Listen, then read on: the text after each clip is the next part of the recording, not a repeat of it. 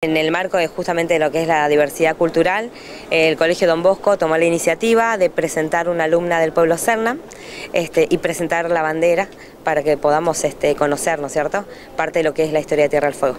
¿Qué significa este hecho? Es importante y aparte lo celebramos, ¿no? Desde, desde la municipalidad se, celebra esta iniciativa de visibilizar y de hablar de lo que es la identidad de cada pueblo y ese es un símbolo, nosotros no hablamos de bandera sino de símbolo, este, bueno, tiene a un Selnan en la forma de lo que es la provincia de Tierra del Fuego que resurge de la tierra y bueno, y también la connotación importante de tener una alumna este, del Colegio Don Bosco que es perteneciente al pueblo Selnan.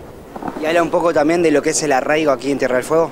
Sí, totalmente, hablar de lo que es el arraigo, para empezar a trabajar lo que es la identidad y el autorreconocimiento de diversas culturas que vienen a la provincia, ¿no? Pero también de, darle la posibilidad a los pueblos nativos a empezar a, darse a conocer y, una alumna de 16 años que hoy se reconozca con orgullo perteneciente al pueblo es para celebrar. ¿Eso habla un poco también de las políticas que se quieren llevar a cabo desde el municipio? Sí, desde el municipio estamos trabajando activamente en lo que es este, la diversidad, ¿no es cierto?, lo que es la cultura y lo que es este, reafirmar los derechos este, consagrados, ¿no?, de poder este, eh, empoderar y reivindicar las culturas nativas eh, y tener un poco más de sentido de pertenencia.